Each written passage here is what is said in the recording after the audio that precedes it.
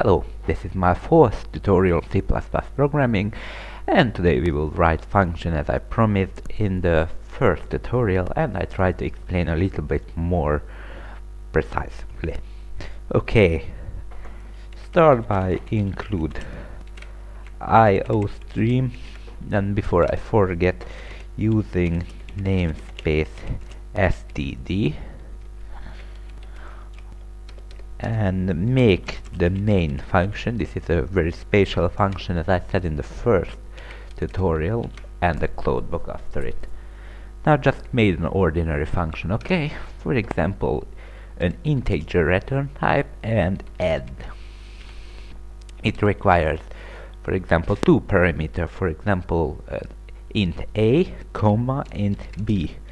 So it requires two integer parameters. So two whole number and an A and a B okay?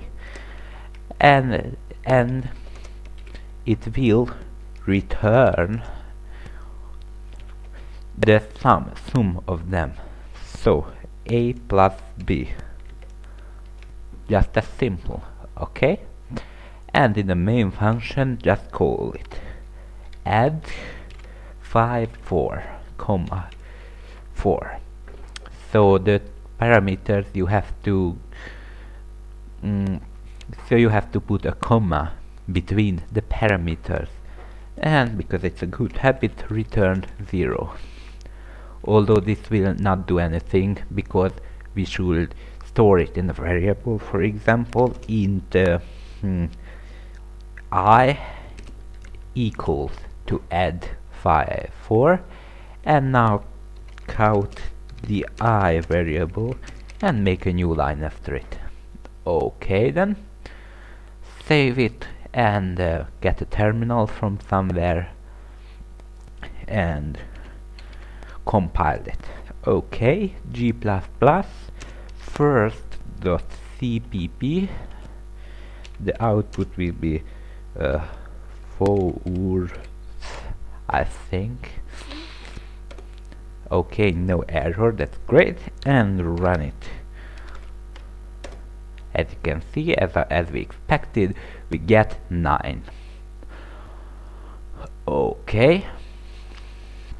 Although we could do it without variable i by just cout that. This work as well.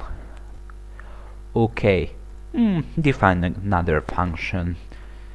Uh, now we will use a data type which I didn't really mention because it's not really a data type. It's called void. Void means there is no return. There is no return type so we don't return to anything. Void um, for example write. And with no parameters like the main function and we just cout a few, few things like uh, hello world. Okay. And uh, have a great day. Okay. And every time we uh, call this write function uh, anything will be executed between the, the open and the close brackets so these will be executed. So write it out. Like that. Okay get a terminal. Compile it and run it. Okay as you can see it works pretty well so the fun fun function can be a little uh, can be a huge help because you don't have to type this write 200 times if you want.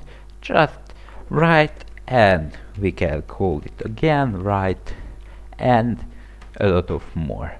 Of course you can do much more with functions. There is a lot of things with uh, which you can do with it. Okay and that for now. Uh, later we will continue uh, this